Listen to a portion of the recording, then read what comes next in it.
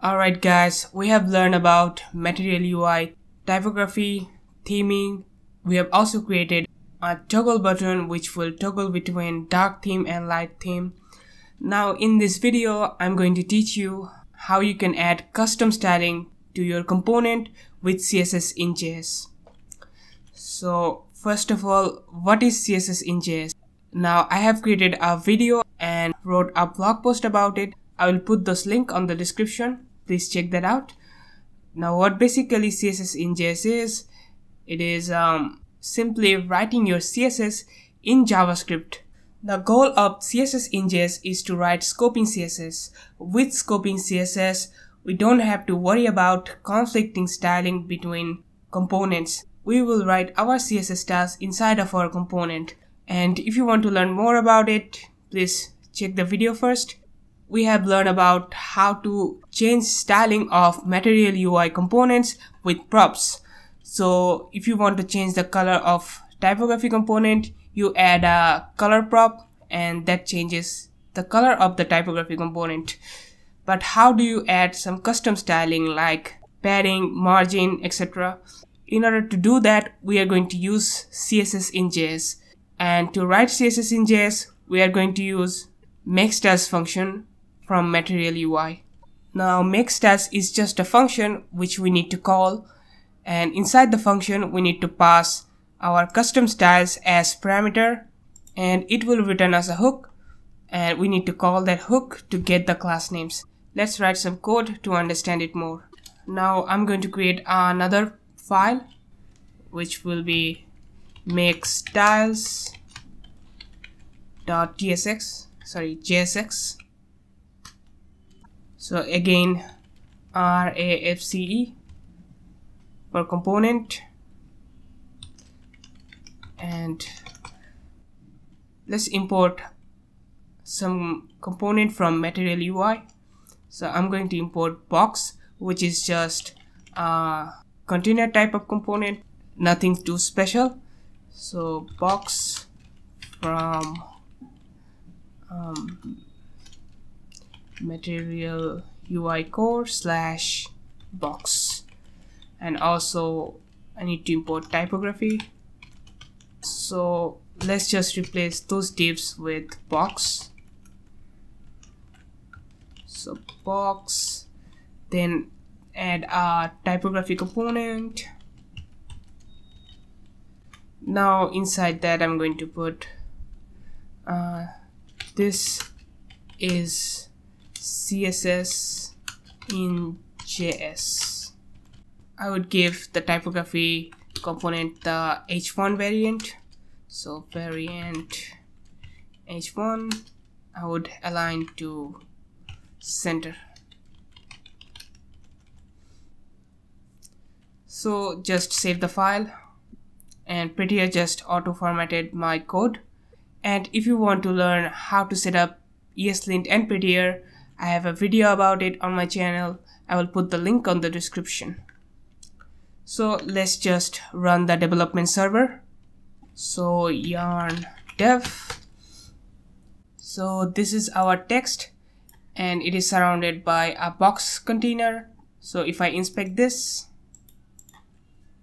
so what if you want to add some background color to the box component and some padding to the h1? How would you do that?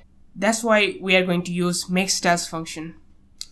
So I'm going to import makestyles, import, it will be a named import, which is um, make styles from material UI core slash styles.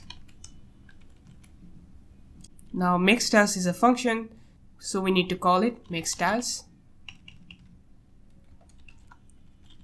Now inside this function call we need to pass an object as argument. Now the properties of this object will be the class names that we want. We need to provide some class names as property in this object. So I'm going to call it container and it will also be another object and inside this object we need to specify our styles Now, if you have used inline styling with JSX, then it will be familiar to you. So I want to add a background color. Just give the property name, background, then colon, and and you have to give the value as string. So I want the background color to be red. So red, and again it has to be string, and no semicolon because we don't put semicolon in the object it is just simply a JavaScript. We want to add some padding inside the container. Padding 1 rem. Now what makes_styles function will return us is a hook. So we need to store that. So const useStyles and now the return hook will be stored inside the useStyles so let's just call the hook inside the component useStyles and this useStyles will also return us an object. So let's store that. Const classes. Now it will return us an object with class names. Now for demonstration let's just console log classes So if I save the file, if I go to console, and here is our object, as you can see that the property name is exactly same the class name that we have put inside the object. Container here it is also container. But the difference is the value is makestyle dash container the our class name and then a number. Now what makestyle has done is create a unique class name and we need to put that class name inside our component so that the styles that the unique class name has stays scoped inside that component so that it won't conflict with other component. And if you don't understand what I'm saying, please watch the CSS in JS video. So what we need to do now is take the class name and put it inside our component. So what I want to do is just destructure the class names from the from the returned object. So delete the console log. I don't need classes. So we have container property. So container. We are just pulling out the property and value as a variable from that object. And this container variable is storing the class name. So let's just add it to the box class name. And container. If I save the file we will have a background color and padding to the container. Our makesStyles function is working fine. And if I go to elements and if I see the box component and as you can see that we have the unique class name inside the div. So this is how you basically use makesStyles to create some custom styling for your component. So let's move forward. There is another thing that you need to know about is you can't use dash inside a property name. If you want to give a padding top, then what we normally do in CSS is padding dash top, then our value. Now in JavaScript, you can't use dash inside the property name in an object it is not simply allowed. So what you need to do is remove the dash and make the whole word as camel case. So make the T to uppercase, it will work fine. And if I add uh, 3 rem to the property, now our padding top should be 3 rem. So save the file. So here it is, we have more padding to the top. Alright, now we have known how to add custom styling directly to that component or to that tag. But what about nested styling? We have some nested selectors, right? So how do we do that? Now to do that, inside the same object, you need to create explicitly a string as a property.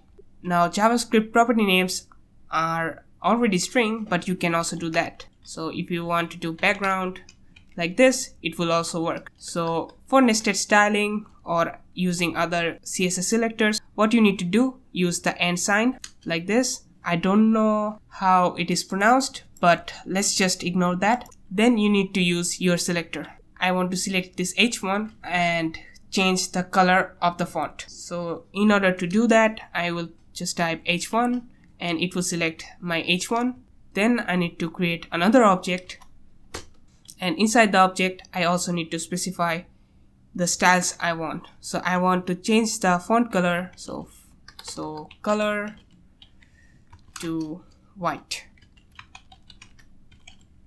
So if I just save the file so we have our font color changed. You can also use some pseudo selectors or pseudo elements.